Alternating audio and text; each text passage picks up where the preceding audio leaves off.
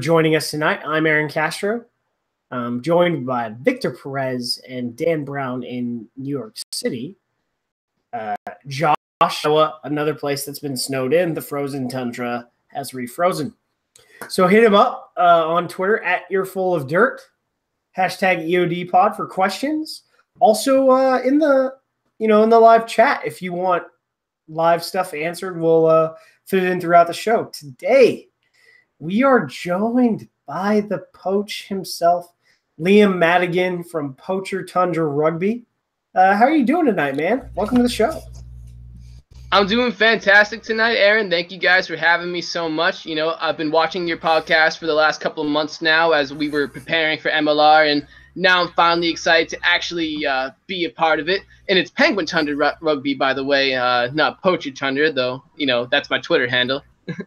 but uh, I'm just ready to talk some rugby. Do you think um do you think we'll actually get someone to on our YouTube channel or now that uh Liam's here? I think that, that makes it kind of empty. No.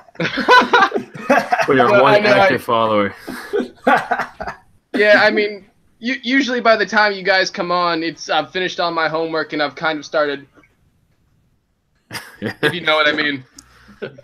Oh yes. So speaking of which, Yeah. cheers to um cheers to everyone. Uh, something happened this weekend. yeah. What was that, Dan? Um, it was a beautiful, beautiful Sunday. I got to bike outside, spend some time in New York, um, and watch some rugby in America. That is uh, yeah. So we got we got to watch rugby, guys. So how how was that as It a happened. I guess a crescendo to the weekend? It, It was felt like the. NFL was back on, honestly, for me.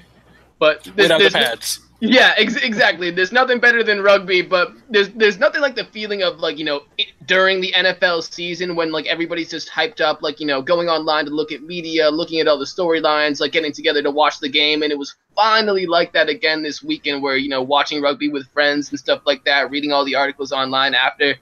Great time of year. I love it. Is Brady coming back this year, by the way? It's a question I Uh, for you. Yeah, no. The, um, so Don Yee, uh, Tom Brady's agent, just recently confirmed um, to a couple sources at NFL.com that Tom Brady is expected to return. Uh, Gronk is expected to return at this point, but he's just playing games due to a contract dispute. But uh, you know, we'll see how that goes.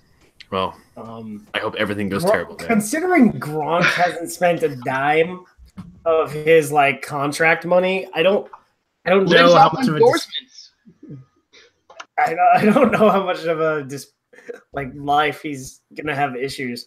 Um, but uh, yeah. So for those new to the podcast, every Monday we come here. We discuss news, rumors from Major League Rugby, the United States Professional Rugby Union competition. It's a just chance. Wow, Jesus, stuttering. It's a chance to discuss all the issues, hear from the league, team leadership, and check in with our friends from across uh, the U.S. rugby scene. Hey, second week that we have a review to read off. Must listen MLR podcast from Rugby Nation USA. That is Jason Graves. He is, I guess you would call him a venerable club rugby writer. He does tons of club rugby profiles, which are really cool to read. Check him out. Um, so there are other rugby podcasts, but if you want MLR news, then Earful of Dirt is your one-stop shop for all things Major League Rugby. The best MLR content and opinions, period. Five stars. Thanks, Jason. Um, thanks for listening. Hope to continue uh, the five stars, you know? So, Dan, what happened this week? Um, well, I may have hinted at it before just a little bit, but we had some rugby to watch. Um, this league that this entire podcast is actually built around actually had real games to talk about. The thing that we've been waiting for for about six months now. So uh, we had our game of the week, Austin at Glendale. Uh, we also had NOLA at Houston, as well as the Sunday night primetime San Diego at Seattle. We have some, I guess, some other banter, some other things to talk about too. Um, Utah also hosted the Prairie slash Alberta Wolfpack, Wolfpack, um, and just also just talking about some of the results, the stats, um, some polls we had, and you know, tweet of the week and everything like that. Oh yeah, and um, almost all of us were wrong on every single one of our predictions, so we will talk more about that later. But we're gonna jump into the first match that we, the first match that we had, Austin at Glendale. So this was really the second match we had, but it was the CBS game of the week, and we have titled it "The Red Wedding" for a specific thing that occurred. Why is it titled "The Red Wedding"? The red cards. So red all- cards- Not one. You sure it wasn't Chris Assmus's um, clothing? so uh, I guess you could call it the red wedding for two things. Um, uh, Chris, my man, I, I agree with the, the person who evaluates you. I think you're the top referee in North America. However, you, you can't wear your girlfriend's ref clothes. All right, you gotta you gotta order your own. He's a big guy too. So- you can order something a bit bigger. Aaron, I, I just gotta say, I, I took a little bit of offense during that show rundown. I, I, you know, I was in middle school and high school, but you know, by the time you guys were probably like in late high school and college, I loved Paramore. I loved Paramore, and I, I will not take an insult to that band very lightly. We're oh, what? What you, you, you, compa- you, you compared his clothes to a Paramore fan or something No. like that? No, paramour is a word for like your lover. Oh, well, Oh. Aaron Aaron likes to use words that most people don't normally use. on a day-to-day basis. I'm an English So- major and I haven't even heard that shit. he likes to use archaic language. Let's put it that way. Yeah. I know you know It's you know what archaic means. Indubitably, I English major. Uh, definitely not. Definitely not about the band Paramore. brought this kid on. Yeah, Let's just mute that microphone real quick. Hold on. I gotcha. Uh, but yeah, so Chris likes to wear tight clothes. He's got some pretty big arms, so yeah. Uh, just order an XL, get it done. But uh, yeah, so let's get into the match, guys. So for for most part, I, I would say we saw some good things from Austin uh, when they were about to take the sword in the mouth.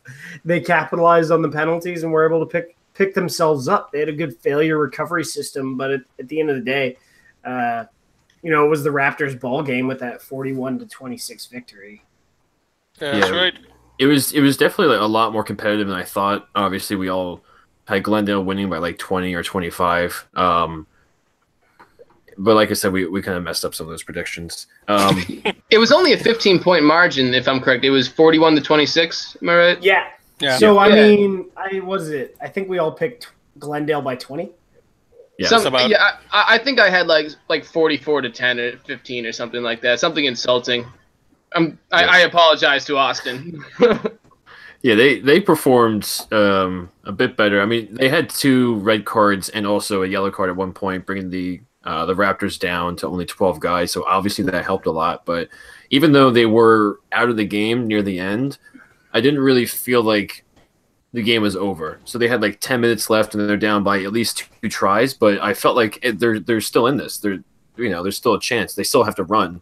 I think a lot of the fans appreciate that too. It's it's different from a lot of sports the Americans are used to, where you know if they're down by that much with that much time left, it kind of just goes into coasting mode. But Well- you got to keep going in rugby. Well, it was only over in the sense that, you know, us as USA rugby fans, we know how the Glendale Raptors play. We knew they were going to win this game going into it. However, if you put two if you put two other completely different teams against each other and one team goes down, you know, 15 to 12 men at one point, there's a very realistic chance no matter how much time is on the clock that like, you know, a realistic comeback could be launched. But the fact that it's Glendale just kind of changed the whole formula entirely. So, but I So think before- later yeah. Before that yellow, um, when they when it was like fourteen, when it was fifteen on thirteen, uh, and that they got their last score, there was still about like 12, 13 minutes, and I thought Austin. I, the first red card, the way they were playing, I wasn't sure until Hanko scored when it was fourteen on fourteen, and I'm thinking the Raptors are gonna are gonna play like the All Blacks and play better with fourteen on than they play with 15. Like it, it was it was that ugly. And you know, Austin was able to do what it needed to do, and it was kind of surprising. Yeah, I would have liked to see them when it was down to twelve men really pass it through their backs and just kind of play hands. They weren't really doing that, so that was kind of disappointing. Where they they had an opportunity, and instead of passing to the guy right next to them, they decide to chuck it halfway across the field. And I think the guy had trouble catching it at first, so then the defense kind of caught up. But it's like I, I, I read a lot of the comments too in the um in some of the match threads where where and these are people who are you know for the most part overseas. They were all shouting like, "Just pass the ball, just pass the ball," and instead he was kind of Well- passing it all the way down. Well, I think there was that just desire, you know, kind of, you know, by Austin at that point, just to get that numbers advantage, especially when Glendale started being down a couple of people. You know, they probably thought their best chance was get was to get this ball to the outside, you know, make them shift their defense, open up the gaps where they could, and they'd be they'd be able to hit them where you know where it was going to hurt. But Glendale is just too well coached to kind of allow that to happen. Yeah. So, um, you know, interesting. If you want to, let's examine some of the stats. Uh, for I think there was a question on Reddit. I think the engine for the stats is still being built out, so I can't really, you know, blast these out. Um, Although I will say, America's Rugby News, they are great at including uh, all the game time or mo- most of the game time stats in their review articles. You know, so, so. But, so this is so this is like what was provided by the stats provider for MLR. So possession in this game was actually 50-50. So it was like really So yeah, and uh, one of the things they're working on is getting meters gained uh, down, so that's not available right now. It's pretty tough to to get. I don't know. I don't know how the technology works, but unless they have a guy just sitting there going like, uh, uh, one, two, three, four, five. that, that, that, actually, that's how I actually I That's, thought that's, that's, how sort it of how you do it in football. it's like you're you're looking. well, football is a bit but easier you have because the there are hash lines marks on the field and stuff and they Yeah. stop every so often. but um, so so time in opponents twenty two was uh, this is where it gets like you look at the kicking game. Um, actually, if you look at the kicking game in a lot of these, uh, they didn't. Neither teams, none of the teams spent a lot of time in the opponent's twenty-two.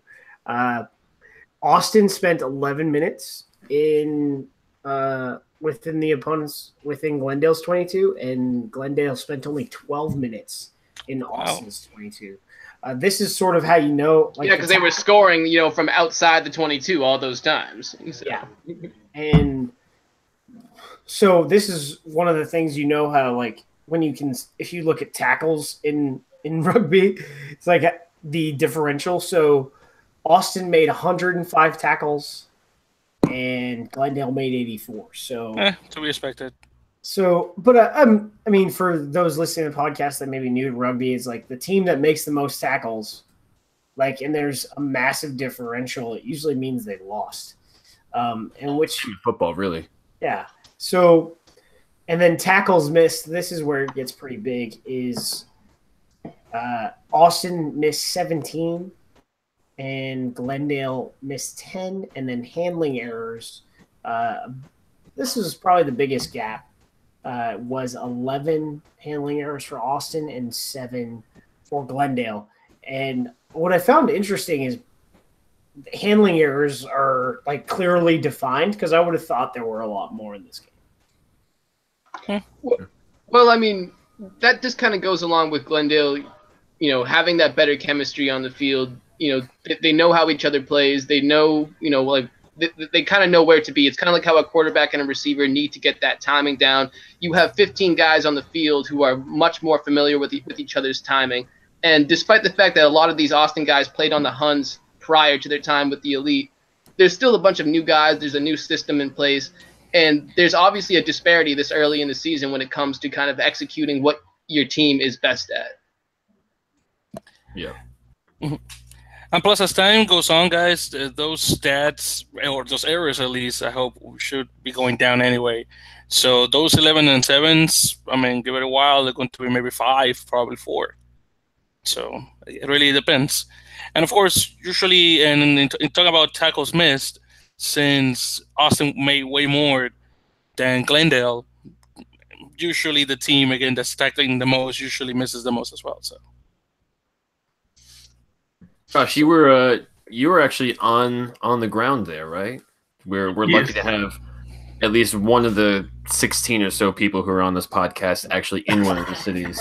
Until next year when New York joins. But Josh, what were your experience at, at the game? I know you were at a preseason match before. No, it was good. They got the Yeah, they got the just, just, yeah, it's good. Yeah. pretty much. The No, only got- thing what the only thing that matters is what was the spread like? They got um, they had some uh, short rib sliders that had like uh, potato waffle buns. They're like hash brown buns. They had some Ooh. cheesy crackers, and they had some Mm. like chicken skewers. All right, all right. Um man. All right. uh, So they Not put on a good show. Okay.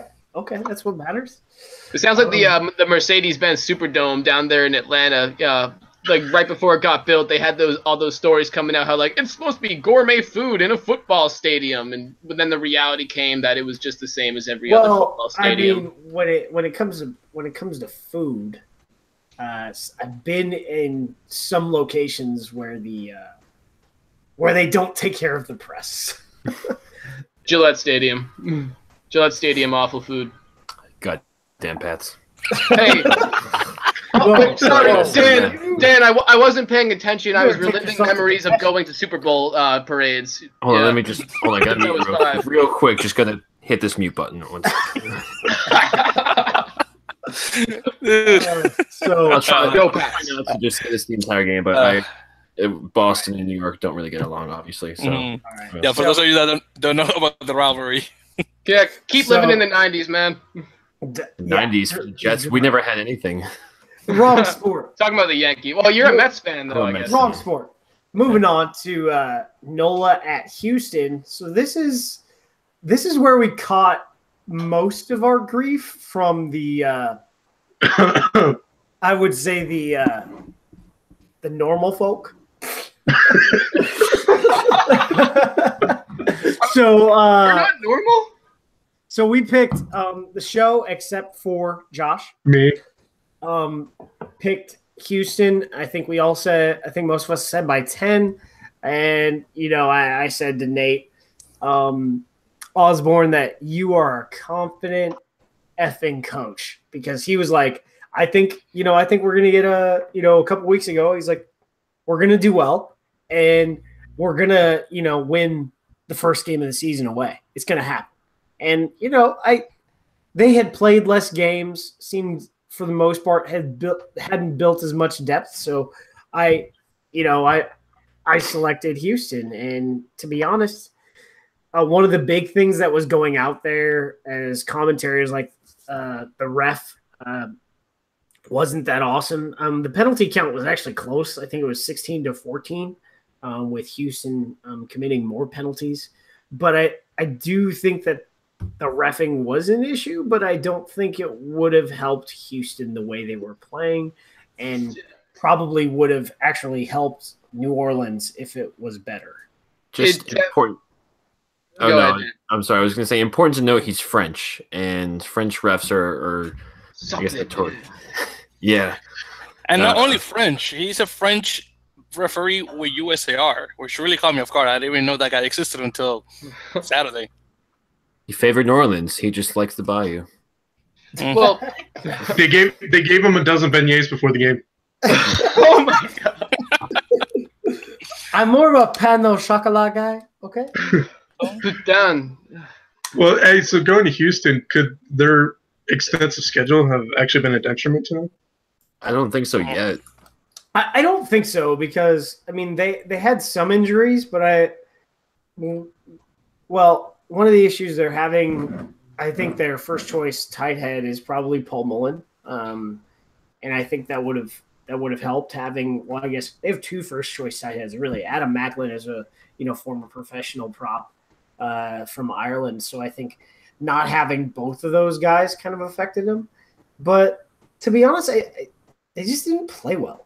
And I don't necessarily think that Nola played well, but they didn't commit the same type of penalties because JP Eloff was able to kick for sticks three times and you know score nine points with his foot on penalties. So, Well, it was it was just really about like when the best of each team kind of came out because in the first half I saw more of the Houston that we expected to see. These guys, you know, they were more technically sound in the first half. I felt like they got the ball out to the wing and they were able to recycle the ball a lot better in the first half. But then, just like you know, uh, a lot of the critics have been saying during the exhibition uh, season, they fell off in the second half. They, it felt like they were, you know, they felt like they got winded or something, but it just it didn't seem like they had the moxie left to actually kind of push through and make a comeback. And Nola just totally took advantage of it. Exactly right. And let me tell you guys, I was definitely not expecting the Sabercats to fall on round one. Maybe round three, probably four, but definitely not from the get go. So Nola definitely impressed me. And credit to them, they traveled really well. And they got some those really good points out of JP Eloff, not only the for his kicks, but also that one try, also tries from the two Chileans, Sebastian Kalm and Nikola Bursic. You also got my Houston there as well. Um, eh, by the way, speaking of JP Eloff, real quick, I don't know if you guys remember in the post match interview, shout outs real quick to him for dropping that those random F bomb that he was talking. The funny thing is that he dropped it and then he sort of like make like this like thing with his Just face. stop for a second. it's like he said like he's like, oh no, the boys are there. And he just Yeah. rather he said You can tell he's- was like, But yo, that wasn't even the best f bomb of the weekend. Connor Cooks, when he got the red card, was just Yeah. fuck. So, so everyone's like, is it on delay? Is it a money issue? I was like, well, it's on Nope. cable and it's on OTT, so I don't really think they care about cussing. Yeah. I thought the guys were going to say, hey, so, so sorry for the language. No, they, kept- I mean, they just kept it. They, They just kept they did. I think um, one of the commentators did when Cook cursed, but he was literally like right in front of the ref, and he's just like, "Red, fuck!" like right into his face, basically. Um, Dude. I don't think he's used to being interviewed very often, so I think you can kind of see that too. And Stanford did apologize for the language. Yes, Mhm. that's his name, Stanford. I was like, So there we we, we, we just had uh, somebody in the comments section bring up uh, Jonathan uh, uh, Josh, Joshua Vithi. Joshua, Uh, yeah, Joshua Vithi. Vithi. Joshua Vithi. Joshua Vithi's game, saying you know he was you know all, all fireworks in the beginning, but then he was quiet, kind of quiet Well- towards the end. What? I What are you talking more- about? I think it was more about being able to get ball, but it, Yeah, that, no, that, well, that's what it I was going to it say. wasn't really on Yeah, him. because like, he scored two tries. What the heck that person's talking about? it's like so every time the guy had the ball in his hands, he was a matchup issue. Six And- tackles. Broke it broke broke on the way to that try. It was like a fifty There- plus it- meter. it- exactly, like for the first one. That's right, six Yeah. tackles. So I mean, come on. Next, Those those weren't broken tackles. Those were New Orleans propelling him towards the try line. I've never seen. Legit.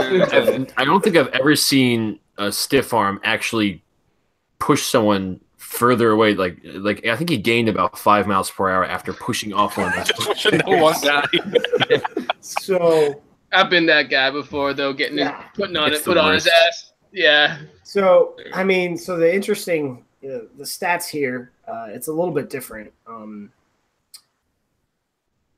so Nola had ball had forty five percent of the possession to Houston's fifty five. Uh, so think about that. Uh, the opponent's time in twenty two. So this is all about the kicking game again.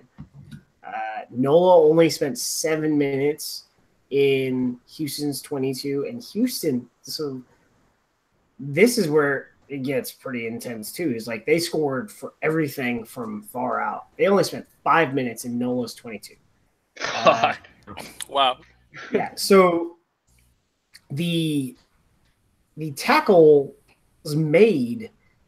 This is where it gets kind of funny. Um, if I have that correct, actually, let me pull that up. Uh, the tackles made was 70 for New Orleans, and the tackles made for Houston was 86. Handling errors was the same for both teams. 70? 86. eight.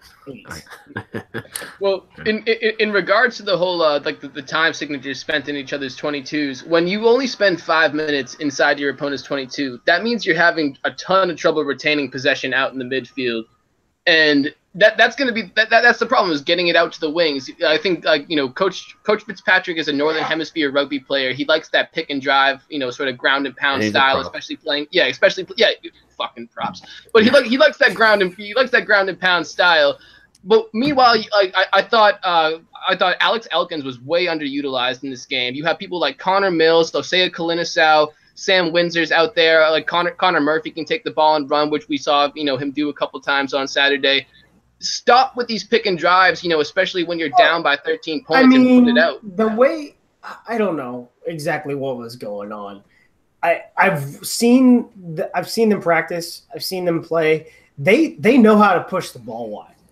They know how to use every single one of their wing, like every single one of their guys in their back line. We see how um Kolinisau and VC are just so good together, but we also see like how good VC is with whoever plays that other wing spot. Maybe it's because he makes people good around him. yeah, it's like we maybe it's like this. Maybe it's Elkins uh, being new because they've had you know other guys start at the blindside winger spot where you know Kolinisau has just been crazy with his hands and offloaded at the perfect time, and you get a you get a try. So I really don't know what's going on there. The connection didn't seem to be there. I don't. It's. I think Coach Fitz. I mean, obviously, Coach Fitzpatrick will get it fixed, and we'll move forward to this week. So the stat that I needed to make sure I had right was tackles missed. So this is where it flips. Uh, Nola had 14 tackles missed, and the Cats had seven tackles missed. How many of those 14 missed were on the uh, the VT try? Well, It's a genuine- six of genuine- them. Six That's a of them very were on genuine that que- That's a genuine question because there Yeah. were a lot of missed tackles. So at least I counted six on VC. Do you count? Do you count some of them as tackles, or just I- kind of tagging? Well, I mean, I counted six. Uh, It, it depends. I, I would need like I didn't see the like inputted metric for who got blamed for a missed tackle Yeah. because that wasn't available. Um, And by the way, and by the way, guys, real quick, just talking about um, presentation, very different from the the ESPN broadcast from the CBS Sports Network broadcast. I mean, it's to be expected, obviously. One is a game of the week and one is not. But um, but really, they were almost on part. They're, they were not completely different, at least in my opinion. I don't know what you guys think, but I will definitely love to hear your Well, opinion in that um, regard. Well, CBS gets the numbers right. Yeah, so, so well, the ESPN broadcast got the numbers right on Sunday. Um, Oh, for the for the rosters that they showed in the for the, beginning. for the roster for the roster uh, diagram, um, Mhm. the graphic that they put up. So you know, teething. I would I would have thought there wouldn't have been this problem, but it it existed and I, it was fixed. So I think we'll be good this next week. Um, personally, I thought the Houston commentary team was the best of the weekend. That was just me, and I'm not. I think Really? the best the best of the weekend was definitely the radio commentary team of Coach Mills and uh, Grant. Grant Cole. But um, yeah, Yeah, I- Can't I be Grant that. Cole I with that thought- I- Texas accent. No, you I- can now, sir. I I thought Hightower did. Uh, you know, Hightower's got that um smooth golf commentary like accent the way he's going, and then he had an Amer. I forget I forget who the American is with him, but they were pretty good. Um, Mhm. I but, actually uh, think Seattle's the best. Be honest. Yeah, I think so. I personally l- loved listening to Dan Power, so I have no problem having him. I think that I mean we'll we'll get to Seattle's in a second, but I think that they did a good job with Dan Power is the you know play by play, and then um, Pete Steinberg actually did uh, a good job jumping in to make sure he explained the rules, but it didn't feel like it was it was like it didn't feel overly condescending. It was you know at times when obviously some people wouldn't understand certain plays, so it was good for him to jump in just to say, hey, just so you know, this is what's happening here.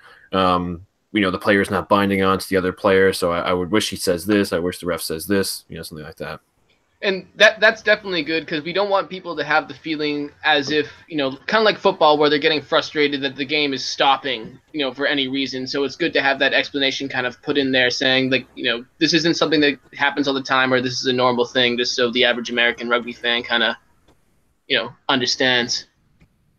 So yeah, um, it was like so that was just some really interesting stuff for for Houston. I you know I was a little surprised, but moving on, uh, let's get into Scrum versus the Scrum Knots. Uh, Seattle wins over San Diego. This was this was awesome. The weather cooperated and the atmosphere was delicious. Uh, you know, they had 3,500 people out, and it was just a great atmosphere. What did you guys take away from what they had going on? Uh, what you just said, it was awesome to see. It was, it felt the most professional, which is not a knock on the other ones because obviously Infinity Park is a very professional stadium and arguably better um, than Starfire. But it's just there's something about the grandstand that kind of um, made it feel more like an English rugby match, and the weather was perfect, which made it not feel like an English rugby match at all. Actually, um, field looked nice despite the fact it didn't have lines, but the, Wait, the they had lines. They were yellow. light Didn't- yellow. Didn't They were help, very, very light yellow. didn't I'm- help at all. I'm pretty sure someone went out there with a highlighter and just kind of went like this. Um, it felt like the most professional, and I mean the- the crowd obviously helped because it was a beautiful day. Seattle always turns out for their sporting matches. They just love sports. They got nothing else up there really. Um, so it really turned out. They were very loud. I think Seattle actually gave away um, a lot of hats and shirts and stuff like that. So everyone was decked out. Um, I know that. in full So gear. what was it? I, I saw pictures. There was like there was like two to three hundred people in line for the uh, the merch tent because like Starfire sort of allows, I guess, a, a festival um, type atmosphere. And there was I, I had a picture and the line was like two hundred deep. People buying you know jerseys and whatnot. So that was that's pretty intense. So yeah, very a lot of committed people, a lot of people said they were doing the double. Uh, they went to Sounders before and then checked out to Starfire. Really? So so this was this was the cool thing. So Sounders game same day, right? and Sounders they- average forty three thousand people. And so, and then you had 3500 because they were sold out um, at this game. That is pretty dope. Um, you know, because I, I talk about developing markets and how hey, you know, USA played freaking Canada in San Diego um, in July, and well, uh, they didn't market the game, but the Dodgers were down down playing San Diego in a fucking freeway series, and of course, you know, no one knows what rugby is, but because there's no advertising. But, so one, um, que- one question I have though is, do you think Seattle could beat Utah's uh, domestic attendance record if they actually had a stadium to beat that capacity? um, I think no, so. I don't think so. Oh, I think it. would I think that. I, I don't uh, because I think the way things are going with Utah is they could get ten thousand, you know, if you know if they wanted to. Okay, chill. Otherwise, you just look at it. The I think what I do think is going to be needed very shortly. is for them to actually win. well, for Utah to win, but they did actually win on Friday. more more for. Seattle is that um they can yank out that away I guess the traditional away side and bring in uh, a lot more temporary seating to expand capacity to 7,000. Um so that I think they're going to need to do that based on what's going on. Well, they sold out the next match, and they only Yeah. have like 150 tickets left for the third match, which is over a month away, or almost a month away. I thought it was just 100 tickets for were left for that match. For the second the- match. No, the second match sold out. Oh, wow. Done. That's So- awesome. So I think they, if a month away is plenty of time to bring in temporary seating to expand capacity. Yeah, And don't forget, they got a waiting list for season tickets next year. Oh yeah, and I'm pretty sure that people are actually on that. So Are, are we going to get a Green Bay situation here where you're put on the list at birth? yeah. Like so, Yeah. what is it? The the the list uh, for the Steelers is forty years long or some crap like that. Same here in Denver. So I, it's It's crazy. I can get Jet season tickets and just just like that. It's easy. Because of the Jets. That's Yeah. why. Damn. In, in New England, we just bring you out to like a like, like a like a liquor store parking lot, and we have you fight another guy with the bottle. It's it's pretty standard. so uh, so I- I think well myself and we in general even though I talked to you know we talked to the GM a lot uh just like we talked to you know all the teams a lot I kind of weighed the drama a bit too much with the loss of Tony Healy um but Phil Mack apparently I mean I knew he was a coach he coaches Thunder Rugby which is the indigenous team on Vancouver Island. Uh, but he could. He's an outstanding coach while playing scrum half. Tell you what. It's definitely, definitely. But and, and I was really surprised that there wasn't a lot of I don't know. th- There wasn't a lot of uh, miscommunications in that game. You know, for a team that was without a coach, was without you know a, a, lot of you know on-field playing uh, rugby experience time like with one another. They were so fluid. They were so like you know they were so rehearsed. I was really really surprised, and like that's kind of why I ended up putting my foot in my mouth with all those predictions. And Brian Ray kind of called me out on that last week, and fuck, he was right. I think that I mean that is a good point. They they didn't have any official um, games, but I I'm pretty sure I heard that they scrimmage against the Seattle Saracens quite a lot or quite often, at least once a week. So I think that plays into it too. Also, I think we were at least for me, I was overstating how much the lack of a coach would have because um, it's not like football where if you don't have a head coach, you're screwed because no one's calling the plays. Yeah, like your whole system kind of collapses, and like only one Well, guy is a master of that system. So so coaches are important, but coaches get coaches do four. four was it? They they coach for four days a week. Captains run on Friday, and then they get you for ten minutes during halftime. Right? It's rugby is a player led game, whereas Coach football tells is very football is coach led. And they yeah, tell my, them my college team in. didn't have a coach for three years. I'm not even shitting you. Well, you had a you had a coach. Yeah, you had a coach. That's pretty nice. You you had a coach. One of your players was coach certified. Yeah, no, yeah, it was all the captains. Like from like my freshman through like you know like the first semester of my junior year, it was just like all the upperclassmen kind of coaching everybody, and you know we, we we won the division my freshman year. I don't know how it happened, but Yeah, there was a. I was like, I'm part of a, a coaching group, and there's a senior, graduating senior at Eastern Kentucky. They play in, they somehow play in Division One for women's lacrosse, and not lacrosse, women's rugby, and they were soliciting, trying to get you know a new coach because she's like the senior captain, and she's been, you know, she's a USAR level 300 coach, uh, but she's graduating, right? And sh- they're trying to get a full-time coach in or not well part-time coach to volunteer so that they can make it to the next level because it's sort of hard to like make it to the next level you know when you're in college when you're balancing school and trying to coach and play at the same time so i mean coaches matter but apparently not uh not as much uh they matter more for setting the culture of a team, I guess you could say. But but that's like from doing it from the offset. You know what I mean? It's yeah and then th- th- you know more important the beginning of the season than they are in the in the meat of it.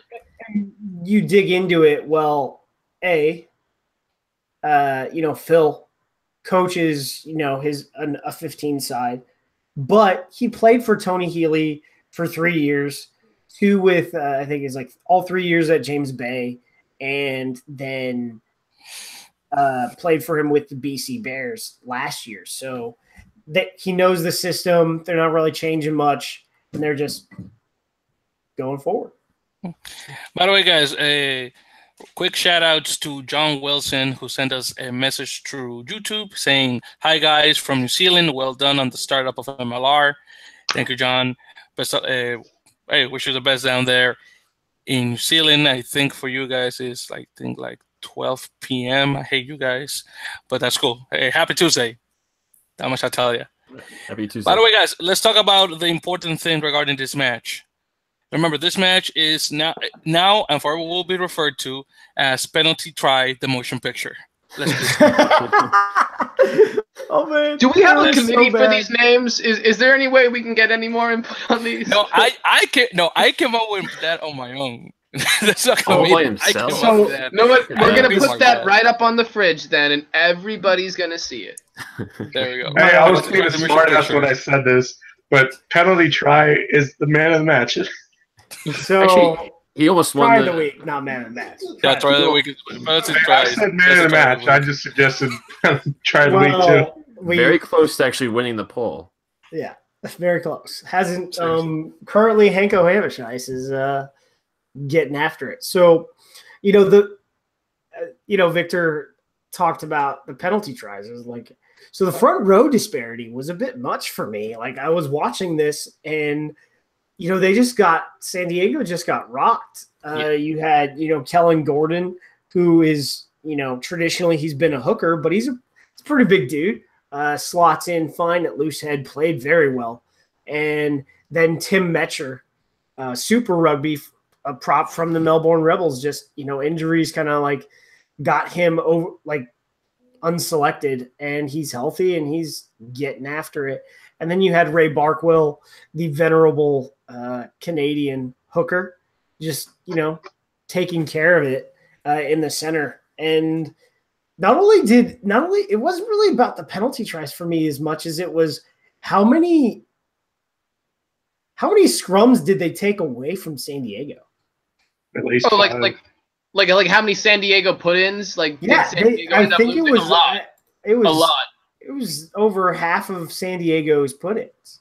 And as a, as a back, I can attest to how freaking frustrating it is to lose possession because your scrum can't get the job done. When you have people like you know Ben um, Sema, like John a- Stapleton, like Mikey Te'o in the back line, like you're you're back. Stop talking. I'm sorry, I'll just I'll just take all my career tries and, and- so and- think about so if you're a front rower like me, think about how I'm, I'm a and you're a hooker, so you lose the ball. Think about how embarrassing that is. Yeah. it's pretty embarrassing. You should be. So, um, Hey, can yeah. I get a little respect for my um, my 15 now? Sorry, Was that for English? Your, for your first 15 selection, Yeah. it wasn't bad, you know. uh, but um, so then there was uh, Cam Polson's try. Was that beautiful? it was That the was first gorgeous. real Oh, it was try.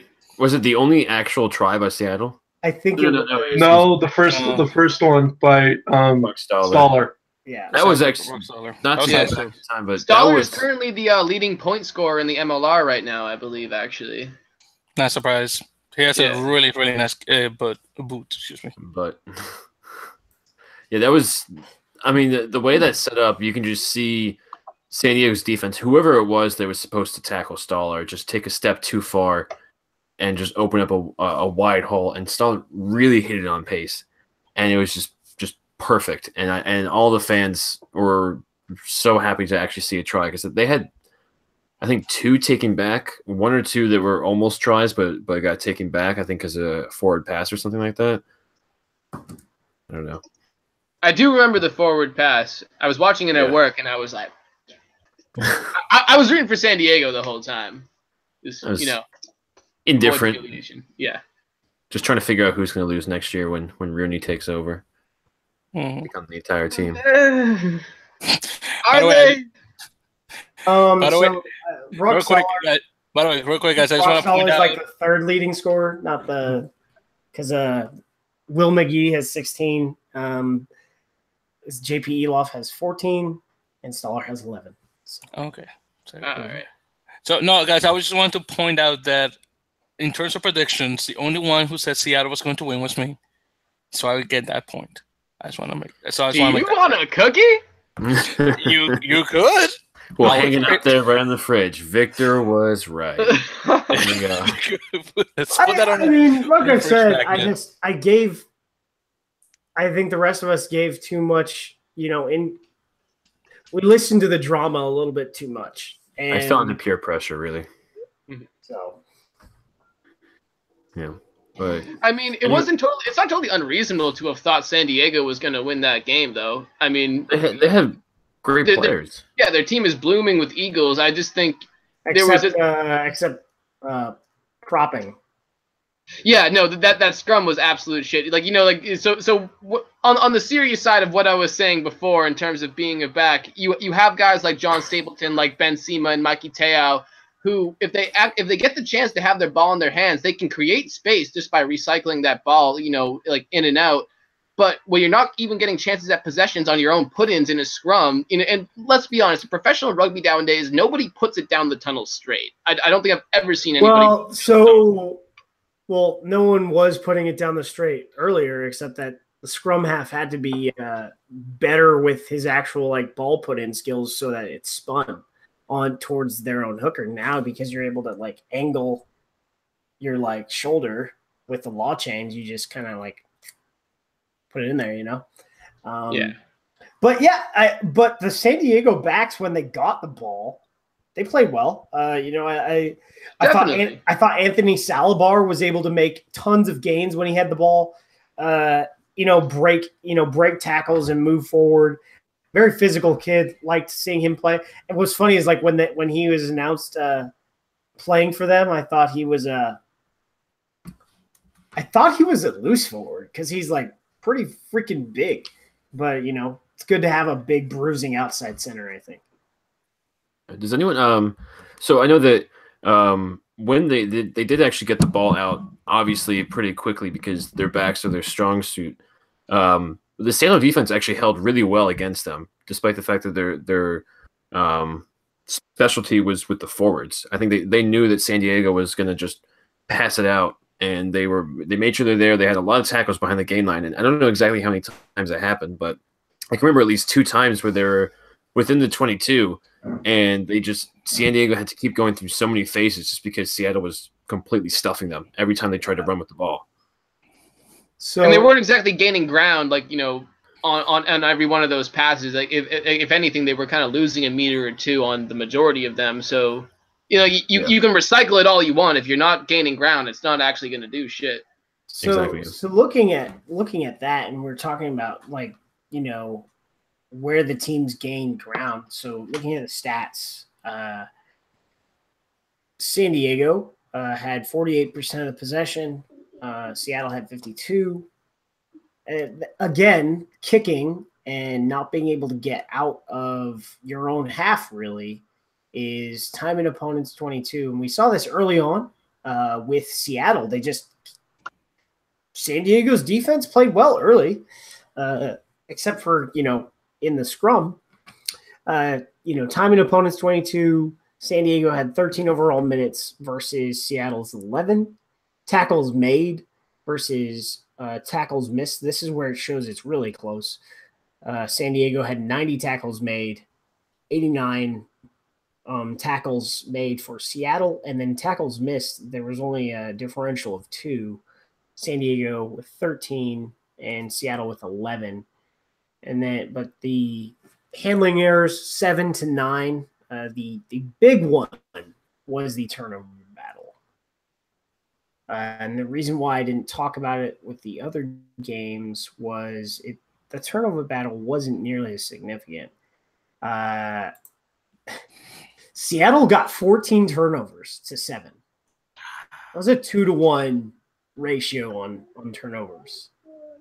Well, it, it, it was pretty it was pretty visible throughout the game that Seattle was possessing the ball a lot more. You know, you, you felt I or I felt at least that San Diego would only have the ball at a time for a couple passes, but the majority of the time I felt like it was this you know it was the Seattle Seawolf show.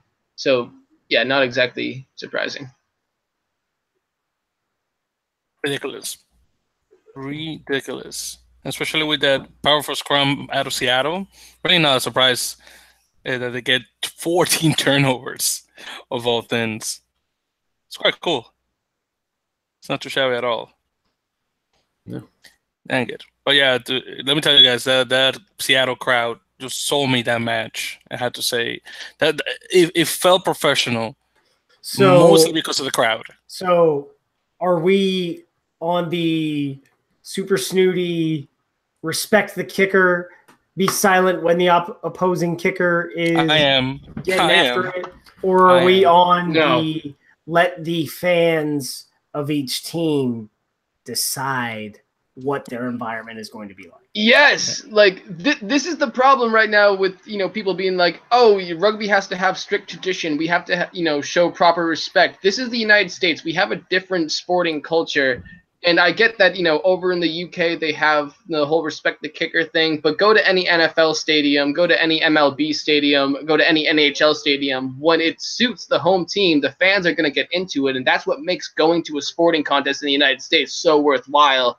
So yeah, no, I I say go ahead and boo boo the shit out of the kicker.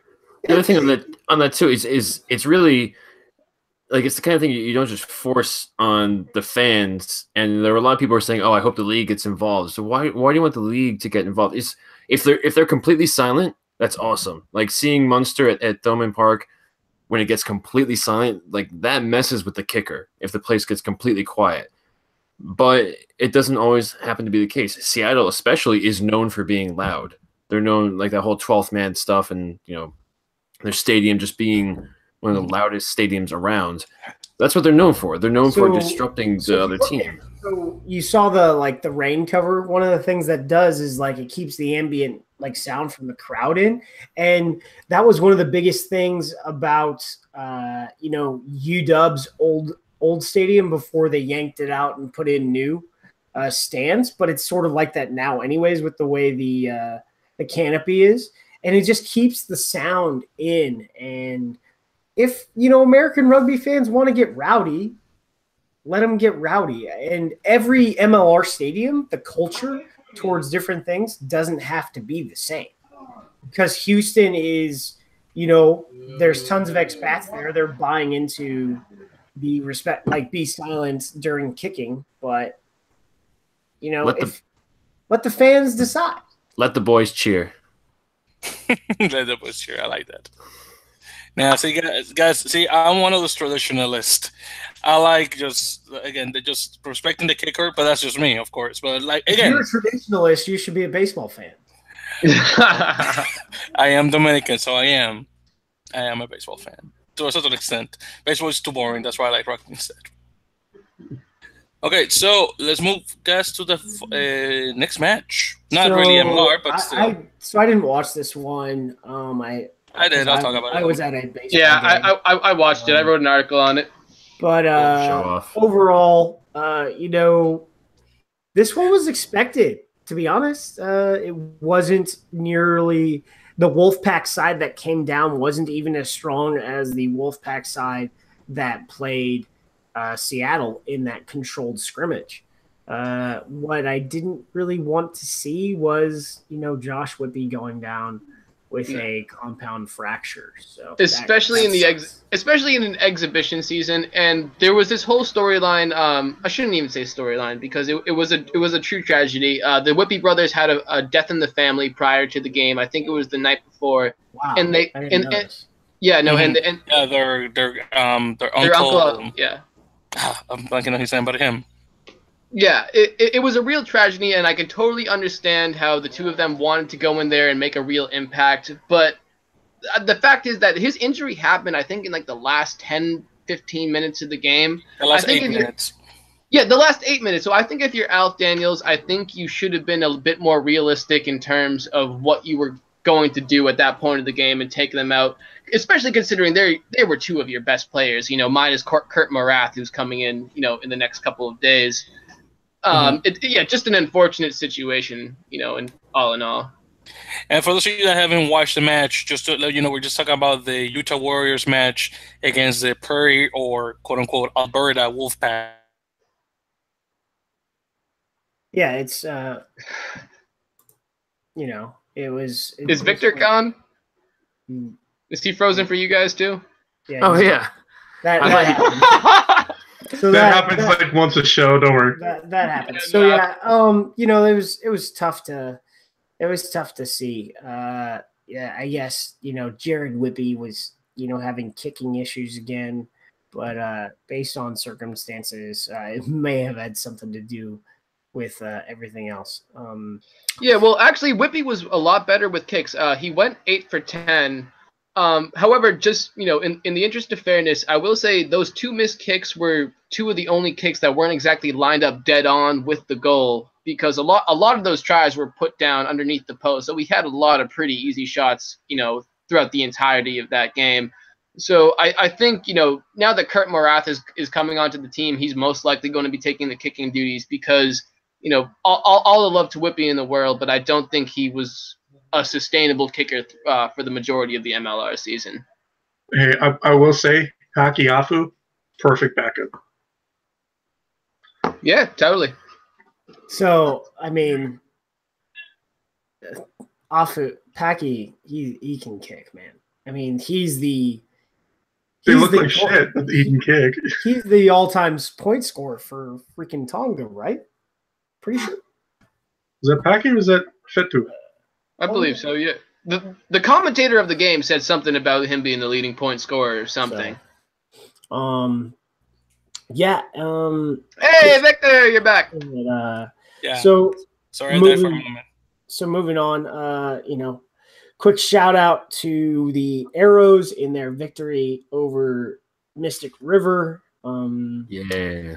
So yeah, Hold on, So I, I would Oh just like to put this out right now. Um, there is no team in, in America called the Boston Mystics. Um, there's been this. we haven't been referring to. So I have So, not so been. not so, so not you guys, but a, a number of, of other individuals in the rugby media have been referring to him as the Boston Well, Mystics. They're, they're like they're like trying to trying out this brand or something, and I'm just like, hey, hey guys, um, do what do what Houston did, do what Rugby United New York is doing, which is don't rely on one club's brand because that is not um, it's not really unifying when you want everyone to come because Yeah. for some you know we're very we're very tribal right in rugby you, we have a lot of bad blood with different clubs it's just just the way it is you always hate that one Oh, yeah. across town and mystic Well- you know is probably that one club because you know at one point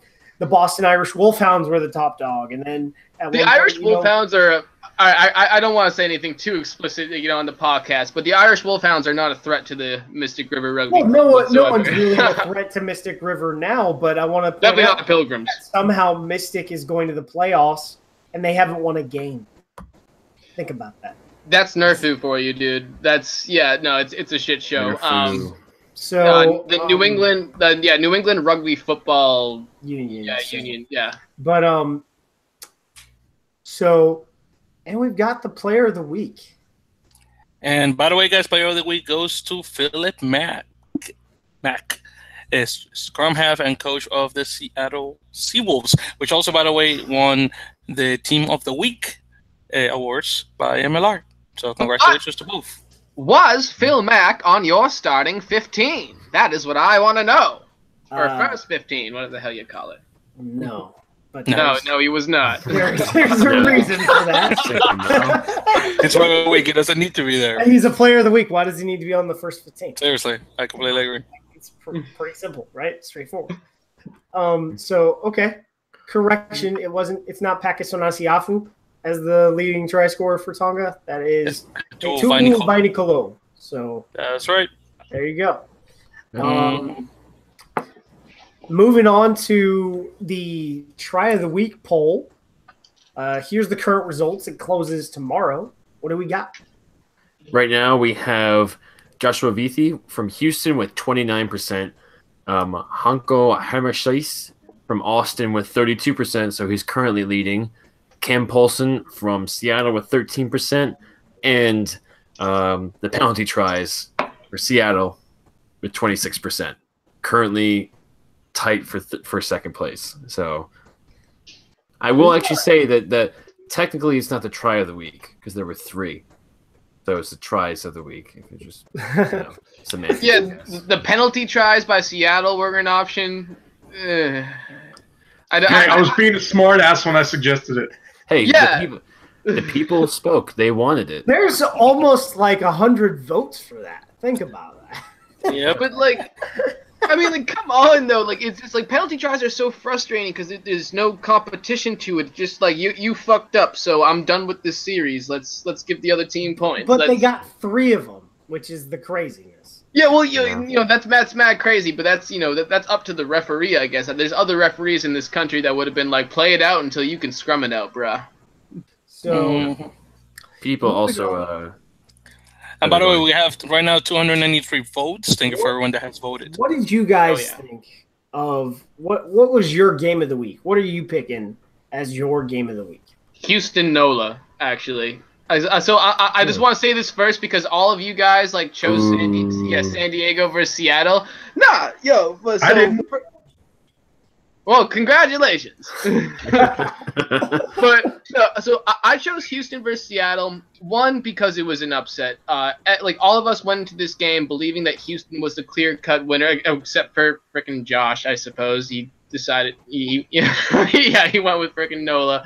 But no, I, I thought it was a back and forth contest. You uh you, you had the team leading at halftime, eventually lose the game. You had a bunch of splash plays by people like Joshua Vithi and uh, Joeli uh, Tio uh, Suva, uh, who uh, the Jojo Takoisuva. the, yeah, Jo- uh, Takoi's, he he was really really impressive in that game. I thought there was a lot of Don't say his first name long. Okay, just Yeah. him Jojo. Jojo. So yeah, jo- Jojo Takoi Suva along with Joshua Vithi and, and, and people like that. I thought it was made for a really entertaining match, especially in the backline battle. You know, con- and also two of the best scrums in the league, especially with that big three of Nola, uh, Biden, Tar, and uh, Howard. Yeah. So yeah, I went with that for my game of the week. But y'all can talk about Seattle and San Diego if you want. it just looked nice for my eyes, basically. It, I mean, Mhm. Likewise, that's also my I- game of the week. it's the game of the week because I got it wrong, um, and because of how they won, which was the Big Uglies, the boys up Mhm. front. My It's people. always more fun. That's right, the mules, the ox, the oxen, if you want to call them that. Yeah, I, I mean, I saw a lot too on the match threads because we had a lot on um, the rugby union sub thread or subreddit, which is primarily people who don't live in the U.S. Though there was obviously a lot of U.S. Um, fans in there too. Um, but overall, the comments were like night and day when they were seeing like uh, Nolan Houston or um, Glendale Austin. Yes, so those those two games, and then they saw Seattle, and like, wow, this is awesome. But I think the crowd also played a lot into that, and the it, it was turf, but you couldn't really tell it was turf. Um, I know people obviously have issues with turf, like myself, but um, it just overall looked very pretty, basically, which is you know the first thing that's going to really stand out to you. So I I mean, so pretty much half the Premiership is playing on what they call 3D, which is they're they're calling them plastic, but they're playing on turf. And then the other half of the Premiership, I think there's only one grass pitch. Yeah, this I think the stoop is the only grass pitch left in the Premiership. Everyone else is playing on hybrid turfs. So- Actually, speaking of turf, did you see the Seattle player who had the blood all on his face? I'm pretty sure it's because his face just rubbed on the turf. you see which that? which Seattle player? Like, One of There's the big Bryce guys. Aleka. oh yeah, Yeah. Yeah, I was actually I was actually going to say as as anybody who's ever played a rugby game, I hate playing on turf. Like, Well, I mean, it is in- not my favorite thing. So sports in general, I hate playing on turf. But that is for some weird reason the way things are going. Um hybrid hybrid is actually all right. I got to say. Um cuz it is mostly grass and then the the plastic stuff just stops it from eroding away when you play, you know, 30 rugby matches on it in a weekend like most It's it's grass it's rough.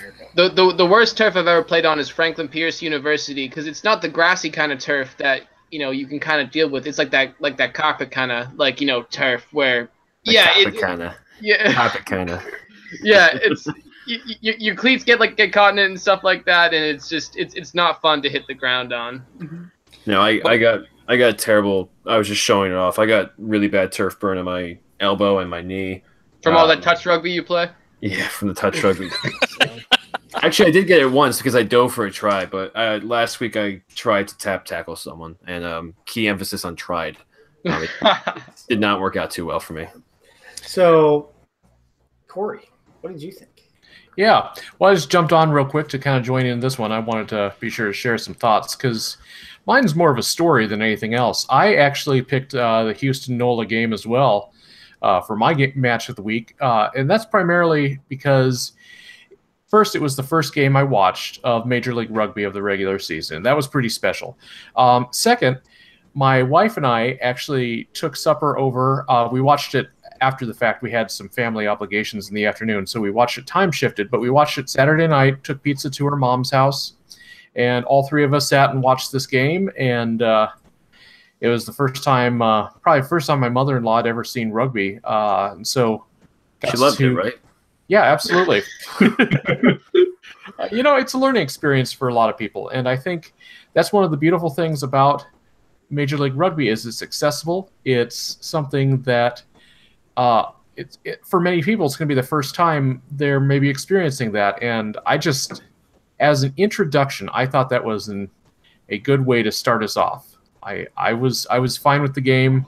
You know, I don't know that it wasn't necessarily the most exciting game. I definitely uh, cheered and jeered a lot more at uh, the Seattle San Diego game, but just from a personal perspective, it means a lot to me uh, that that was the first game. So that was my match of the weekend.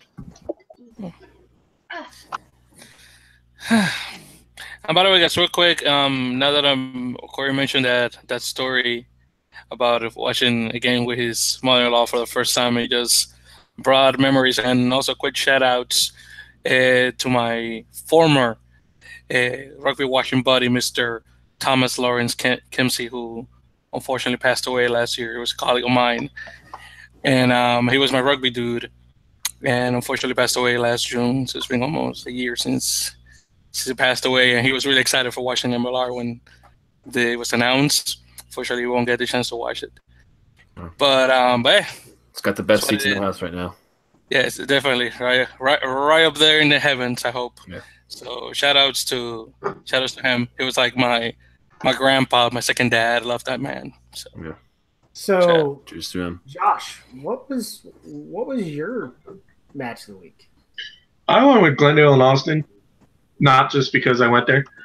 Um, actually, something cool that they did was they brought HawkQuest, which is a nonprofit. Um, they rehab wild birds, so they brought um, two falcons, a bald eagle, and an owl for the for the pregame festivities. Um, Austin played a lot better than I thought they would. They definitely showed better than their last place predicted finish, and honestly, that probably could have been because um, Hardit was playing was experimenting during the preseason. So, I mean, I, I love seeing Falcons out there getting after it. So, uh, I actually round- consider, I actually considered putting Austin and Glendale as my game of the week. Just you know, one to be different, but two also just because of the stand in the second half that Austin made defensively, and especially the you know the comeback attempt that they made. It actually kind of made for some really exciting rugby, despite the fact that you kind of knew what the result was going to be. You know, in the end. So, all right. So going back to look at uh, what our predictions were. Uh, so um, I I went one and two last week, um, and I was also off by uh, all of the points. Uh, Glendale obviously won by I think it was fifteen. I had Mhm. Glendale minus twenty. I had Houston minus ten, and NOLA won by nine. So, and then San Diego minus seven, and you know we all saw what Seattle did to San Diego. Um, Victor, what did you have? So I was, as I mentioned before, I, I got the Seattle game down, so I'm happy. But all the numbers were all over the place, so I'm I actually went one for three, eh, which is One for three? one for three. Yeah, exactly. As in one right out of three games. No, you're you're one for two. One of you're one and two. Mhm. But you really you got. Oh, you- okay, okay, okay. I So- understand. what you mean. So we're going by. So the score is how many you get right. Period. The got it. handicap is just the number. So you're two and one. Okay, well, there we go. So that that that I am. But yeah, I got the numbers definitely quite wrong. And my Seattle was um, by ten, and the game was thirty nine to 23. 23. Thank you, Josh. So I was off by a few, but hey, it's what it is. Okay, so that's that. Uh, so yeah, speaking, Josh, go ahead. Uh, I went I went two for one. I had Glendale by twenty. I picked Nola. I only thought they were going to win by two. They ended up winning by nine. And I had San Diego by five. Very nice. And I had um I was also two and one, so I had Glendale. I'm sorry, one and two. I wasn't that lucky. Uh, Glendale, I picked by 20. They won by 15. Um, Houston, I picked by seven. I was definitely wrong there. San Diego, I picked by 12. Um, also very wrong there. Um, so that's what I got. Corey. Yeah, well, kind of like the rest of you. I'm uh, one and two right now as well. I had Glendale by 12, uh, Houston by eight, and then uh, San Diego by 12 as well. So, yep. Uh, glad Glendale won at least. So, Yeah. uh, I will just quickly point out that uh, we're going to be uh, doing this throughout the season. So, if you uh, check out earfulofdirt.com towards the end of every week, we'll be posting our predictions for the weekend. And you can always uh, catch up with stuff there and then uh, remind us how wrong we are after the fact. So, I think really at the end of the day, our our conclusion from this weekend, with the exception of uh, Victor, who beat the odds, uh, the rest of us were pretty much wrong. So, yep, that's that's where we're at. So, you guys want to go right into uh, being wrong about next week as well? Yeah. So first game, uh, Austin versus Austin at Houston. Uh, I, I guess I'm giving uh, Austin a lot more credit based on their performance, but uh, you know they they haven't won yet in the preseason or uh, you know in the regular season. So I'm going to say Houston minus five. Next. Hey, Liam. Oh, um, yeah. So Wake up. I was. I, sorry, I wasn't quite aware of the order. I I thought it was just going by the order of the people on my screen, but um, I'm I'm gonna say You're in purple behind me. I, I, I feel might be. College kids. Yeah, no, sorry, no, I'm not, I'm not looking at the rundown right now. I'm also off in La La Land, but basically to the game. Uh, I'm gonna say it's going to be a, a relatively low-scoring game, just because I like how uh, Austin is uh, on defense. I'm going to say uh, Houston 28, Austin 14. Okay, so 14 point difference. Okay, cool. So put that down. Okay, so I'm also going Houston, guys. Um, uh, over uh, over Austin. I'll say by 11. So let's go with that one. I had Houston too, but I had Houston by seven, so a bit a bit smaller. I think it's gonna be a closer game. Um, I know we didn't expect the Houston outcome from this week, but I um I- we also didn't expect from Austin as well. So I think Austin is gonna perform better than we thought from this week, and Houston I think will play a bit better than last week, but still not not a huge um, differential. I'm also trying to play it safe because I I completely messed up last week, so I'm just going with simple like five points, six points. That's it.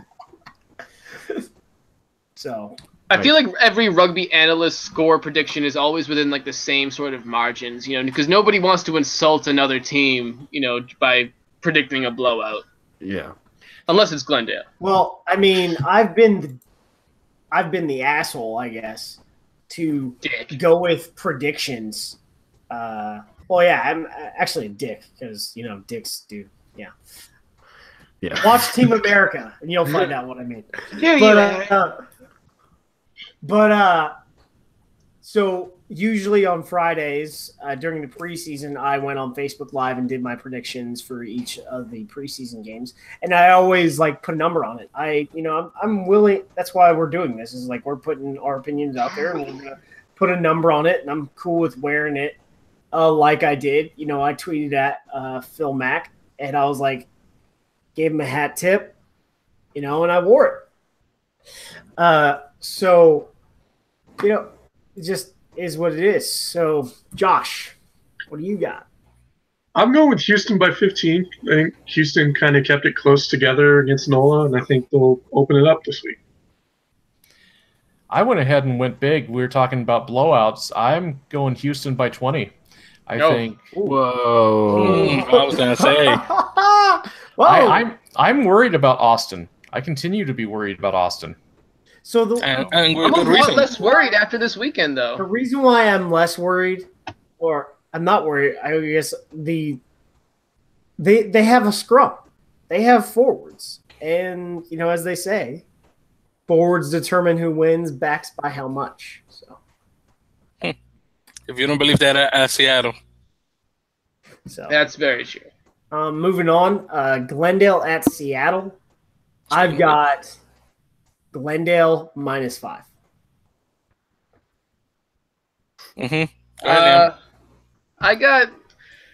th- This is a hard one just because I'm really gun shy about predicting against Seattle, but I'm gonna go.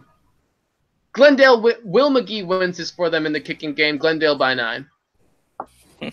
I hope you're right. I'm also gonna go Glendale by a converted try, so by seven points. I'm going Seattle by six, and I don't have much to base this off of except for the fact that I liked what I saw overall. Oh I can't- man, This is I- gonna be money to talk about next I, week. I want Oh, to be with, dude. dude. I, I was like, I want to be with you, but my gut just says that uh, Seattle's gonna make it tough. But I, I'm I'm staying.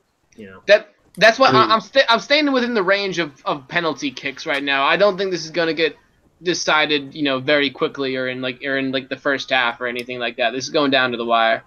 I mean, I, I really, I mean, deep down, I, I really think or know that Glendale's going to win, but I'm, I'm, I'm, I got something in it that's just thinking that Seattle. I mean, I've only seen one game of them, and I liked what I saw, so that's really all I'm basing this off of.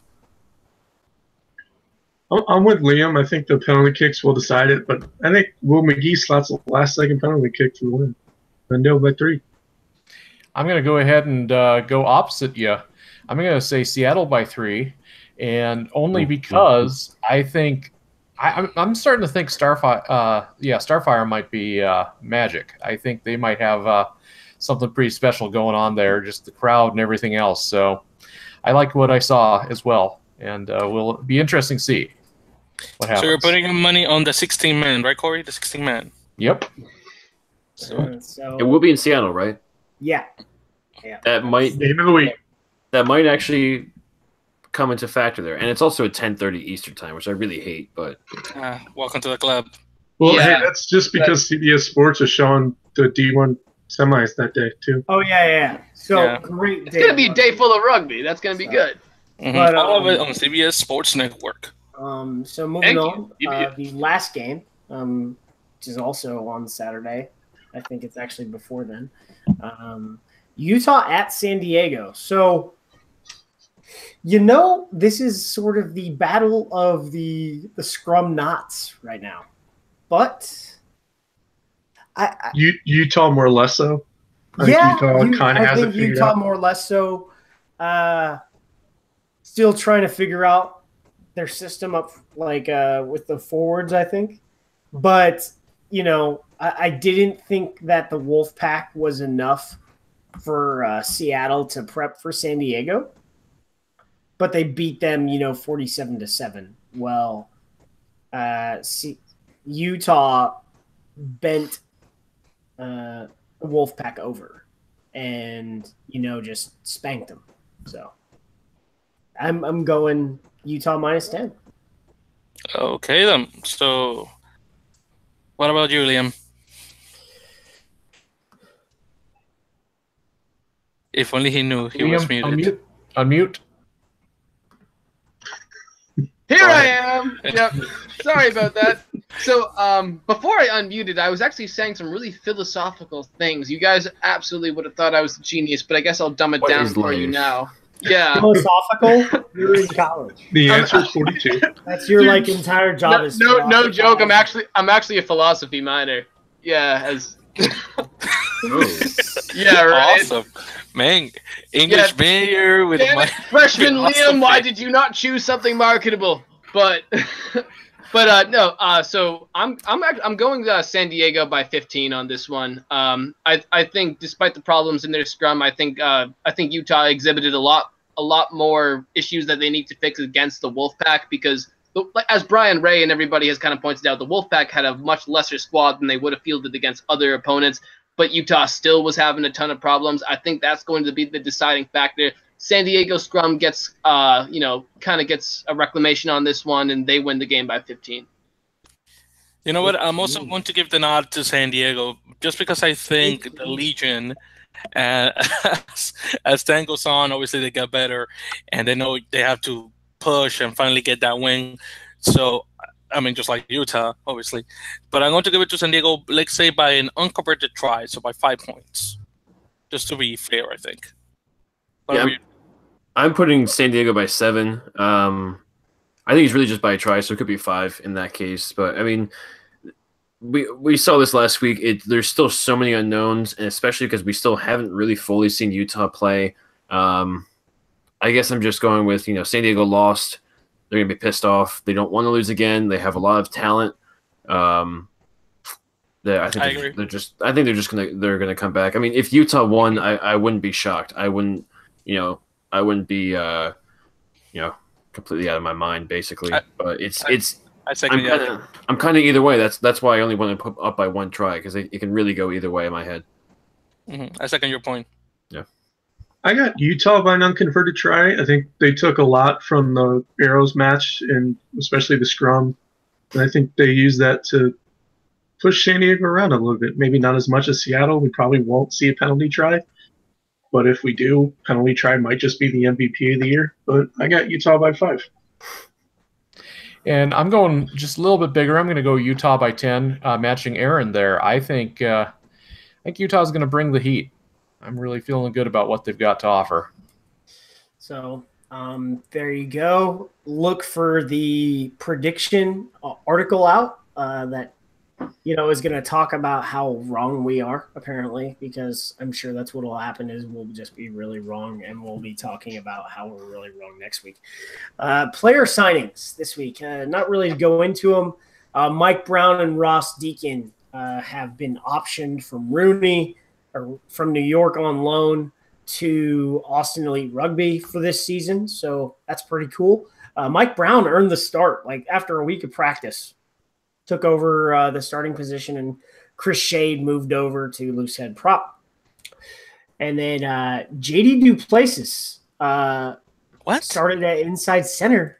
Duplessis. Please, it's Duplessis. Let's Duplessis, bro. Come on. Du- okay, okay.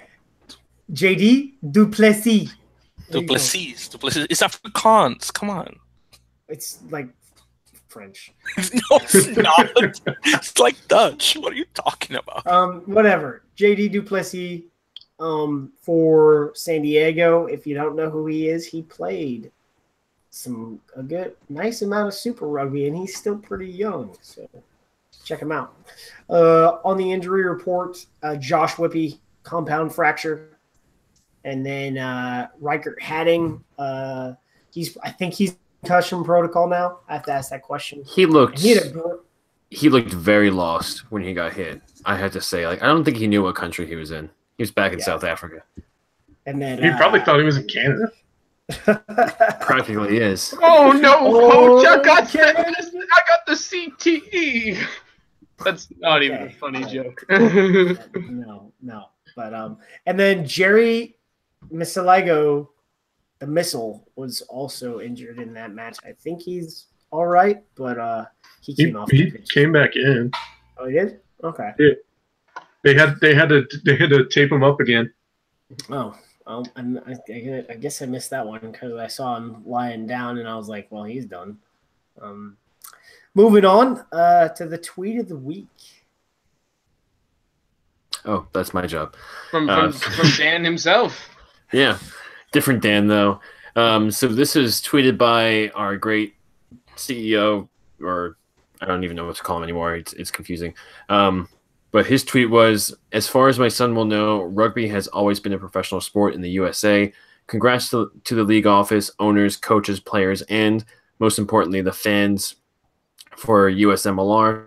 Everyone buy tickets, merchandise, take a friend to the game, get on board at USA Rugby at Payne NFL, who's his brother Seth Payne, who uh, works down in Houston and actually knows Grant Cole and a bunch of the other guys in rugby down there too.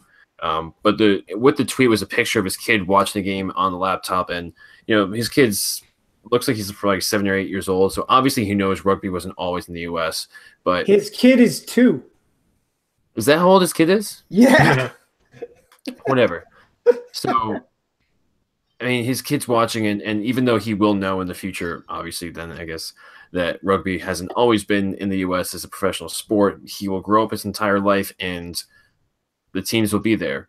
You know, it, it won't be um, like us, where we're in our 20s or 30s um, or 40s. I'm not sure. Um, and watching a brand new league, it's basically your entire life. So I'm really, you know, really happy for him. Um, all right. But speaking of Dan Payne, this is why I, I said I wasn't really sure what to call him exactly. Training Um, topics from Josh. But yeah, speaking of Dan Payne, he is now the CEO of Rugby Americas. So he's in he's in charge of Rugby Americas North and South America Rugby. So uh, Dan said he was going to take some time away from rugby and resign to CEO of USA Rugby. And well, it looks like World Rugby uh, was like, we can't lose you, and made him s- just became just became the USA Rugby's boss. Well, I mean that's a good ally for USA Rugby to have, you know, in Yeah. the you know the World Rugby hierarchy. Is you know the guy who used to run the entire organization is now the North American Rugby czar, essentially. So Oh. I'm, I'm I'm all good with that. The entire the entire hemisphere, Yeah, not not not just North America, but South America as well. So that's with, with with Dan too, and the reason why we liked him so much is that he genuinely cared about growing the sport. Like he wasn't just, you know, like our former CEO who kind of gave the impression that he just wanted to be here and kind of like a businessman, old boy kind of stuff. And you know, he he really wants to grow it. He he worked a lot through the grassroots, so we love that about him. And you know, seeing him move up into this position doesn't give me the impression that he's going to move to this position and you know um, have a high ranking role in, in world rugby and kind of take it as that. I think he's going to really get involved and really help out, even akin to what Agustín Pichot did that in South America. Um, he helped a lot, really bringing in a lot of initiatives to create more rugby opportunities in South America, um, as we saw a lot with the uh, the South America um championships and, and even with the ARC. I think he played a, a big role in parts of that at least. Um, so I think that having Dan Payne involved is just nothing but good news for even North and South America, really. definitely. I, Exactly. yeah, it's it's you know, it's like they recognize talent that can be very influential, and they want to groom it to, you know, lead this hem- the development of our hemisphere. And for us, as USA Rugby, that like Liam said, we get a great ally uh, in charge. You know, so uh, moving on to views, news, and abuse. Give me, give me a second, Aaron, real quick. And just because I'm a stickler about geography, just to let you know, uh, Rugby Americas is about the continent of the Americas, not the hemisphere. Thank you No, very much. Rugby America's Rugby North. Americas is for both RAN and Mhm. South America, South which is the, the content of the continent of the continent. the You said it, hemis- not hemisphere. the entire hemisphere. yeah the entire hemisphere. hemisphere. No, that's the not a Americas has their own hemisphere.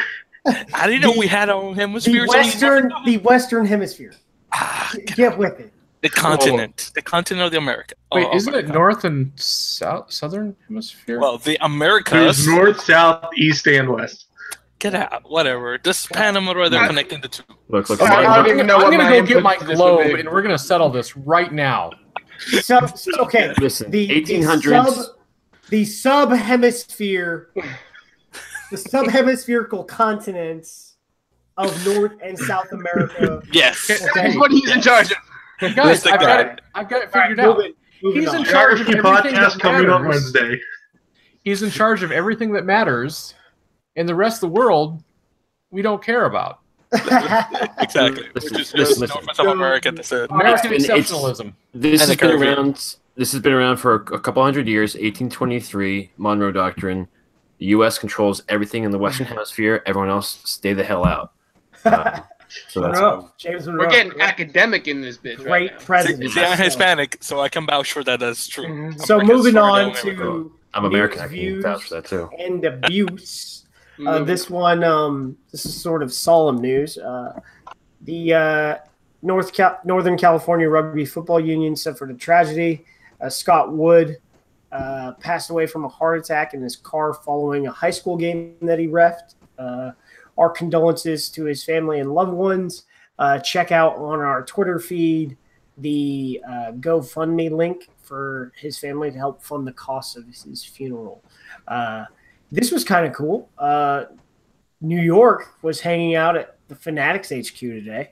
Uh, so uh, we'll see if they become an official partner with MLR. Uh, if you don't know what Fanatics is, they're an official partner uh, with all sorts of merchandise for every major sports league in America, Mhm, including NASCAR. Yeah, Exactly. They're all Uh, retailer, by the way. like literally every major sports league in America. hmm So- That's right. Uh, I guess some abuse the we took on the sub was the lack of TMO. Uh, from what I understand, that will at least be in place for the semifinals and finals. But I think it it would help to have next week. uh, and then MLR news coverage. Uh, CBS and CBS Sports Network's Twitter feed was all MLR during the broadcast window. Really cool. Top 14 tweeted about Major League Rugby, and there was an article in The Guardian covering New Orleans versus Houston. So that was That pretty was that was not written by a friend of the show, Martin Pengelly. I'm so quite surprised. Yeah, Well- some other people are out there too, right? It some was, it, was, it was someone else. Was it him? Yeah. Moving to uh, final thoughts. Corey has something to say. Yeah, well, real quick. Normally, this is about the time we do questions from Bob, uh, but obviously, first week we're running a little bit over on our time, so we've go, gone ahead and saved those questions, and uh, we'll get to as many of them uh, next week as we can. Otherwise, just look for us on uh, the sub over on RML Rugby or on Twitter, and we'll address uh, what we can there. So, uh, real quick with final thoughts, I just had something I wanted to kind of uh, talk a little bit about. And I was tweeting about this uh, briefly this week and got a little bit of love, got a little bit of few jeers, few cheers. Um, and you guys hit on it earlier. So this is basically talking about the value or lack thereof of tradition uh, as rugby moves into the U.S. market. Obviously, rugby comes with a lot of expectations, uh, especially from overseas fans. Uh, the that was most noticeable in people getting really frustrated with uh, the breaks that were taken at about the 20 minute mark in all the matches this weekend. So they called them water breaks. Uh, realistically, I have a feeling they're uh, kind of just a spot that there's yeah they're, okay, they're so, holding a so it wasn't even at the quarter though. Like the first, it was at weird intervals, which is probably, I don't know. Maybe they're being, maybe the refs are being told to liberally hydrate or something. But Law five point nine allows for the ref to call for a water break. However, um, the one game that I don't think there should have been water breaks at was uh, Seattle versus San Diego because the conditions were perfect. Whereas it was freezing in Colorado and it was humid as fuck in Houston this weekend. So those would be the two places that you could seek hydration because you're not losing as much fluids or you're So- losing a lot more fluids. So my point being, I think they're kind of a holding spot for what could eventually be called a commercial break on the quarters. And a lot of people were accusing MLR of this. Um, and frankly, I'm fine if they want to do that. And I'll tell you why. We we run off of advertisers. We run we the league has to make money. That the networks have to make money to continue to uh, cover this sport and continue to push it out to millions of subscribers across the country. And if we have to take a one minute or two minute break halfway through each half to accomplish that, so that we can have this coverage across the entire country, I am fine with it. And I don't think it I don't I- think it diminishes I don't think it diminishes the game. I don't think it diminishes the talent of the people playing, and I don't think it really is going to hurt them that one or two minutes that they take a drink of water uh, when it comes to world rugby competition. I think taking in fluids will like actually helps performance. Period. Uh, but Really? as Wow. wow, you it's like oh my gosh, uh, you know, making sure you're fully hydrated is actually going to help like take away from performance. Apparently, no, it's not. It's going to help performance, but there are I think there are periods in the game that they can run commercials, and I think uh, as the demand grows, we'll probably see that go away because we'll have the type of advertisers that want to project onto the pitch. You know, ma- the major companies. Because if you notice, there really wasn't sponsorship activation on the pitch. Mhm. You know, the thing with um with the water breaks, I, I mean, I prefer them not to be there as long as they don't. They weren't egregious, and also they didn't make a strict hard stop where you know if, if the game is still being played, they're not going to find a way to stop the game just so they can get commercial. I know something similar to that happens in football where they have commercial timeouts. But in, in this, like if it was 18 minutes and 30 seconds and the other team just scored a try, then they'll cut to commercial. And it was a really quick commercial too. So it's it's really it's not really a, a big loss because they didn't really extend that much. You know, maybe an extra 30, 40 seconds more. But it's either, you know, get the commercial or watch them stand around for almost that much time. So I, I didn't have a big issue with it, like like what Corey's saying. Um, Well, the, the timing is also in the law that it requires either after a score or a dead ball. Yeah, obviously it's going to be a dead ball. They're not going to blow the whistle mid run. That'll be riots. So I also agree with Corey. I think that was actually a great idea of implementing uh, commercial breaks with the water break because as sports in the US are, there's a lot of commercials, I'm- unfortunately. But again, you want to get that revenue. I mean, I don't want rugby to become I, I'm surprised. with ads, when but they- again, you have- want them at least during the water breaks and we during halftime, probably. Go ahead. I'm surprised that in the UK, when we're watching like the Premiership or Super Rugby, that when they do have those injury timeouts or they actually do have those water breaks, because guess what? What is it? Last weekend, the Waratahs, uh, you know, used 5.9 because it was like 30, 30 Celsius and 80% humidity or something. They also did water breaks. I'm surprised during breaks in play, all these other games don't have commercials because apparently the TV revenue runs Super Rugby. You know, The other thing too is is when you're in Houston in June, when the season's going to be at its peak, it's a lot hotter than uh, England in like February or March. So it's it's a big difference in where you're playing. Where at that point you actually want them to to make sure they have, you know, water there. Well, I just like to bring up. I went to pro the Denver the Denver Ohio match, the second one, um, in pro rugby. It was 106 degrees here in Denver.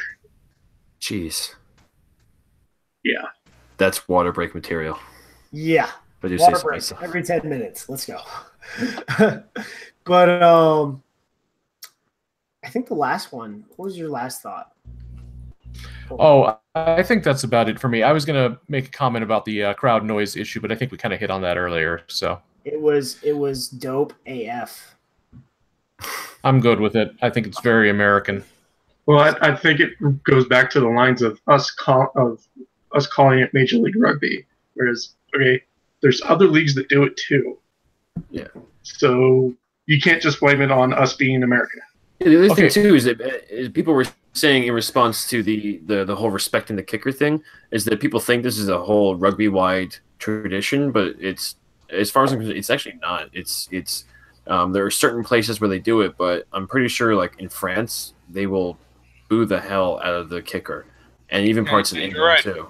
And you're right. Is, is- is that see? Is, is that Latin thing? Because that It's- happens also in Spain. It's culture like it's team. I would say let culture be dri- like driven by fans, venue to venue.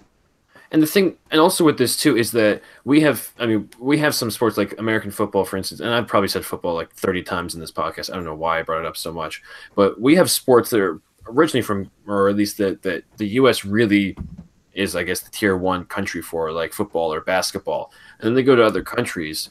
Um, all the, the traditions are going to change. The fans are different. And I'm not going to sit here and, and complain because um, the fans over in England aren't tailgating properly before they go to Wembley Stadium or something. Hey, like they that. definitely Uh, don't tailgate properly. They need to No. understand that barbecues need to occur. You know what? Speaking real quick, uh, speaking of sports cultures, uh, to Dan's point, just look at baseball. Baseball in the U.S. is very different from baseball down in Dominican Republic or down in Japan. Those are co- completely different cultures. Oh, down Japan in the is Exactly. Yes, and then you got the little baggy things that the wag, and also when they're about to pitch, everyone's silent. Oh my god! Back home in DR, we have this guy. This guy's usually with drums, and this thing that we have called the güira, which is this thing made out of metal, and you have this thing that looks like a fork that you that you that you like scratch. It has like this shaky sound. Yeah. So I mean, you have these, you know, guys playing merengue and some lawas bachata music in the back, as a guy is like rather about to hit the ball. So again, same sport, three completely different cultures. Yeah, yeah, and uh, then, I honestly, I don't think the U.S. should have any kind of obligation to change the way our sports fans behave. You know, I. It's, well, it's- let's it's- let's not be like Dodger fans and no, assault Or- and batter people in the parking lot. Or Yeah. Philadelphia fans, or you know, Baltimore Ravens fans. you know. Boston fans, or you know. No, hey, no, listen. We will talk our trash, but we will not assault anybody. All right, O- occasionally. by Hey, choice. at least, by- at least by we're not Philly throwing snowballs. at Well, Sam. well, Yeah. your players will. Who, who, who in our players is assaulting anybody? Uh, don't, don't don't even say Hernandez. Do not even say Hernandez. Wait, wait, wait. What was that about Hernandez? What was that about Hernandez? What? All right, let's get out of here, Victor. Take us home. Awesome. Yeah, sorry guys. I just heard Hernandez, and I- and I assumed to talk about one of my Yeah. one of my cousins. Like, yo, Hernandez, what the heck are you talking about? Wait, cuidado, pero. That's exactly right. Yeah, if you guys don't know, guys, um, Leon speaks um, a super accented Spanish, but at least he speaks it way better than Aaron. I'll tell you that right now. That's the guy that Cállate la speaking boca, Victor. Ándale. Dude, no that's, the puede guy, comprender qué está diciendo ahora. But, no, that's the guy that should speak Spanish and he doesn't. yeah. Rápidamente. Rápidamente. Oh, dude, that was nice. Rápidamente. Okay, no, but seriously, guys. So, first of all, guys, thank you all for joining us. Episode 33 of the Earful of Dirt Major League Rugby podcast. Uh, so super happy that we got to talk finally about the league from round one, and we're going to be doing this onward. I guess we still don't have plans on what we're gonna do after the season is over, but still far away. The guys and I will talk about it. So what we're going to do. Um, well, Eh. Dan, Dan and I are going to Rugby World Cup sevens, but we're going to take a break after the season's over. Oh, I'm not going to the sevens. I'm sorry. You sold your tickets? I didn't get tickets. Ew. I'm going to Colombia for the uh, Central American Caribbean games where rugby is being played. So Yes, that's right. that's actually going to be pretty exciting too.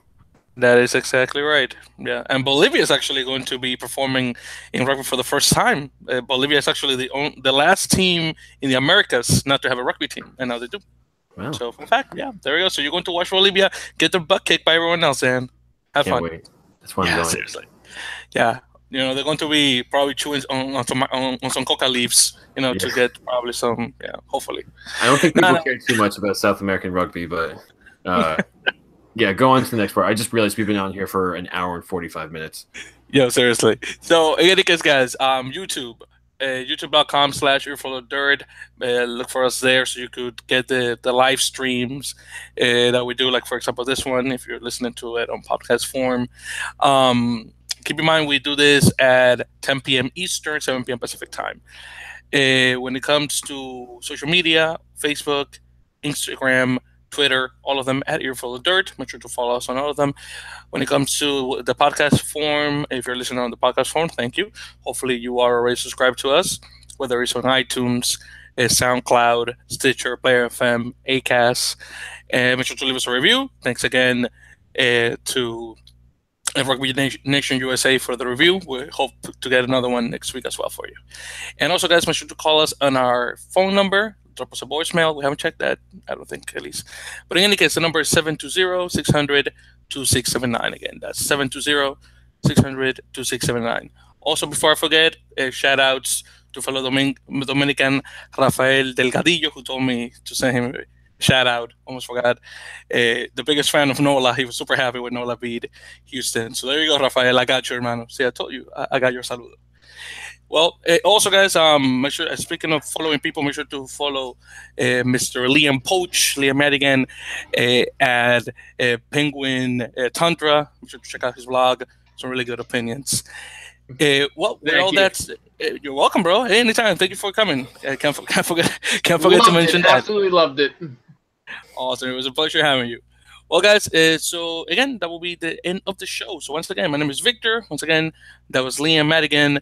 That was again Aaron Castro, Josh Fraglum, uh, Corey Munson, and Dan Brown, not the guy from the book. Before anyone says I'm gonna retire that, and we'll see you guys next week for round two of Major League Rugby.